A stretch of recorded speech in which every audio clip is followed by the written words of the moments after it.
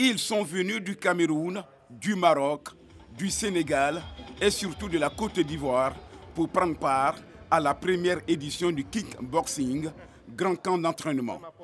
Une initiative de la Confédération mondiale des fédérations d'arts martiaux et d'arts assimilés, en abrégé, comme FEAMAS.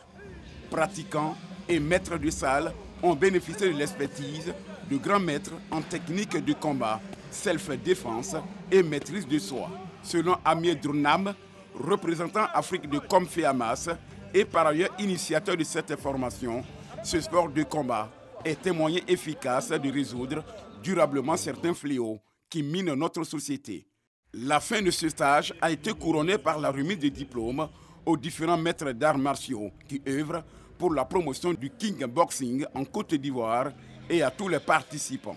Même si on n'a pas été le plus fort, l'important on sait que c'est de participer et je serais ravi encore de, de reparticiper à cet événement la prochaine fois. Fondé par le Mexicain, le professeur Antonio Salvalas, la Confeamas a vu le jour en 1999.